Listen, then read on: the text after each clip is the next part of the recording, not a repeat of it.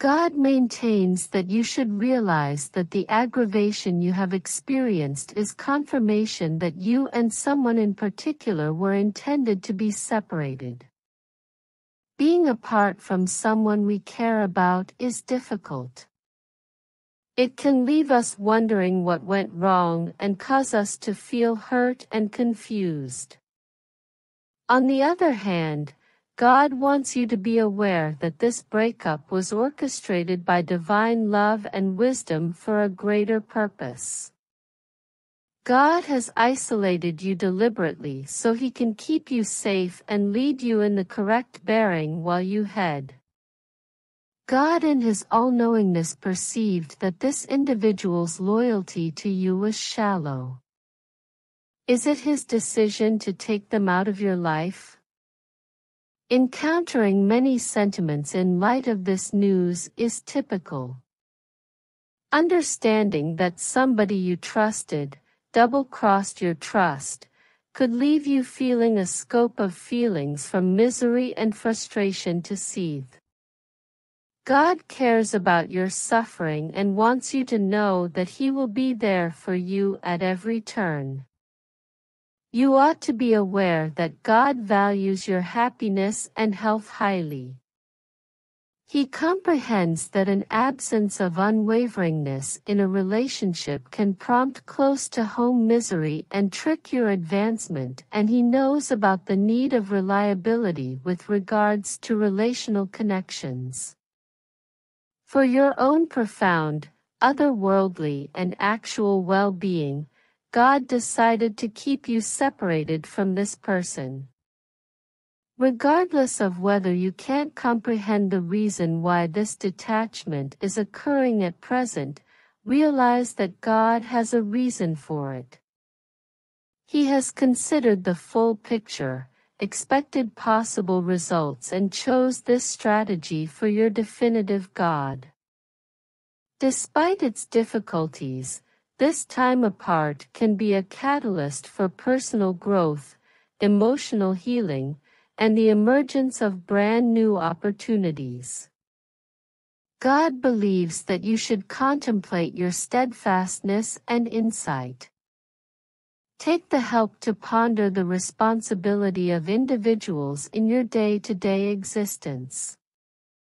Put yourself in the company of people who are trustworthy, kind, and willing to help you out.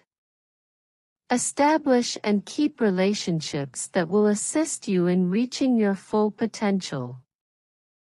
When you're feeling down or uncertain, pray to God. If you want to feel better, try praying, meditating, or engaging in another spiritual activity. Calm your heart and again viewpoint during this season of division by lounging in God's sacred presence. God wants you to know that this separation does not make you less valuable or less deserving of love and loyalty. You are priceless to God, and others should trust, respect, and support you. Keep in mind that the love and grace that comes from God, not the actions of other people, determine your worth. Take care of yourself and focus on growing as an individual during this transitional period. Participate in pursuits that satisfy you, work on your well-being and help in the recuperation from close to home show. Carve out opportunity to reconnect with what your identity and drives you. God wants you to know that it is not the end of the world if you are apart from one another.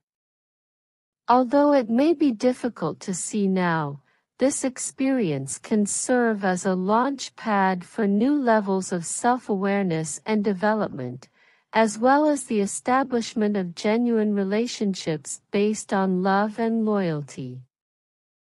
Put your confidence during the time spent recuperating and development in front of you.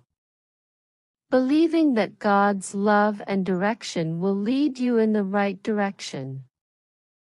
God is with you right now, ready to offer you his incomprehensible love, wisdom, and strength.